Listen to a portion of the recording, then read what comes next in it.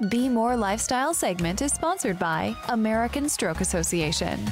All right, well, May is American Stroke Month, which is why it's the perfect time to have American Heart Association volunteer medical expert Dr. Monik Jiménez here to speak with us about women's risk of high blood pressure and stroke and how it changes throughout their lives. All right, well, thank you so much for joining us. So tell our viewers, what are some of the risk factors unique to women? Women have some unique risk factors, such as pregnancy, menopause, and use of birth control pills. And all of these factors can increase a woman's risk of having high blood pressure. And we know that high blood pressure is actually the leading cause of having a stroke.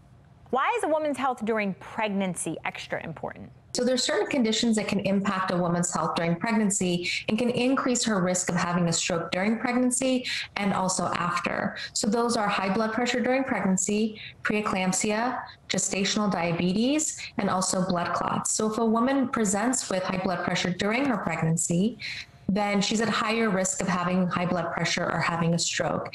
And it's important for her to work with her physician to manage her blood pressure and also discuss prevention. Okay, for sure. I'm, I'm, managing my blood pressure right now. I'm about six months, so I get it. Super important over here. Now, are those risks the same for all women, though? We know that Black and Latina women have a higher risk of developing blood pressure, also of having a stroke, and also of having complications after pregnancy. Okay, so then tell us, what can women do to help reduce those risks? That up to 80% of strokes and heart disease can actually be prevented. So first we want women to control their blood pressure. So if your blood pressure is regularly over 120 over 80, mm-hmm. then talk to your clinician. Also, if you're taking medication to manage your blood pressure, then make sure that you take it regularly and as indicated.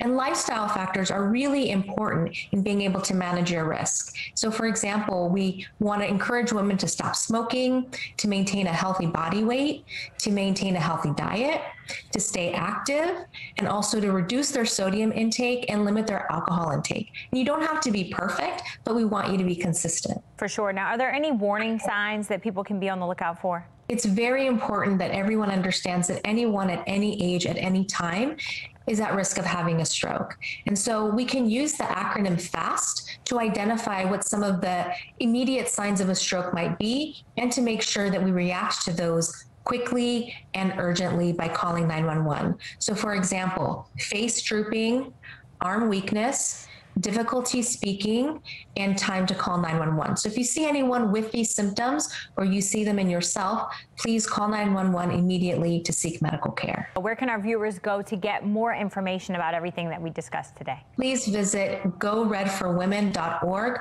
forward slash risk. All right, Dr. Jiménez, thank you so much for joining us today. Such useful information. We appreciate you.